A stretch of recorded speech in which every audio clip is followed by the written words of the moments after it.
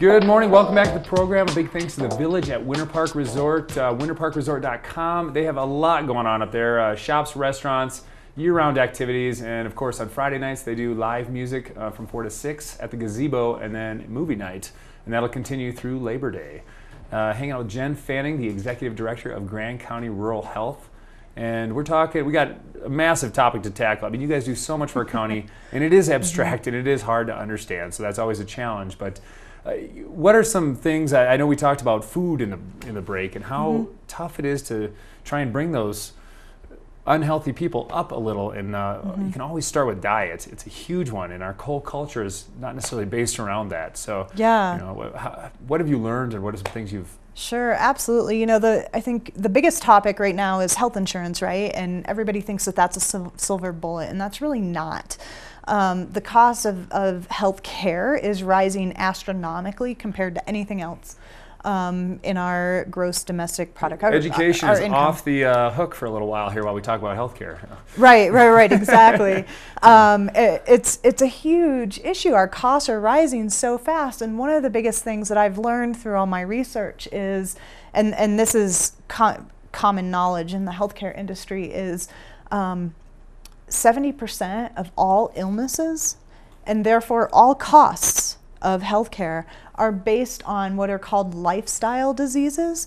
Um, and so those are diseases that, in large part, not 100% certainly, but in a large part, can be attributed to your behaviors and so your fitness, um, where you live, and um, how you live it, and then the food that you put in your body. And so, if we can get a handle on that, we might be able to get a handle on our healthcare costs and then therefore get a handle on health insurance and providing coverage or access to care for, for anybody who needs it.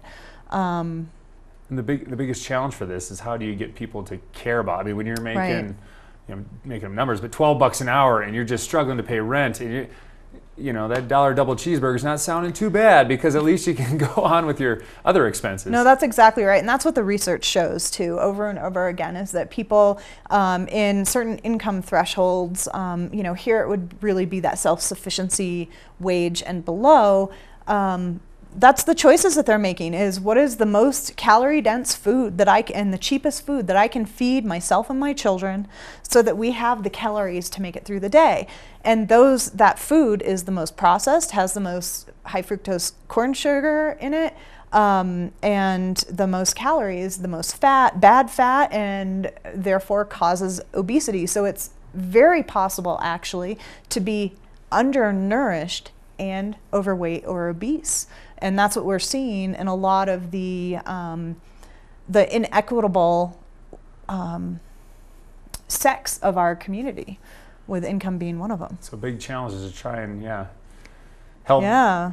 get that knowledge out there and then also then try to change habits which is also its own exactly own and a lot of it's relating to the food system right so right now our food system this is to be clear, Jen Fanning as an individual making these statements, um, that uh, a lot of our, our food system supports the creation of processed food, high fructose corn syrup. It makes it really cheap and really easy to access. Well, what happens if we were to instead people don't like the word subsidized, but the fact of the matter is a lot of our food is subsidized. Corn, for example, is su- subsidized, which is why high fructose corn syrup is in literally everything.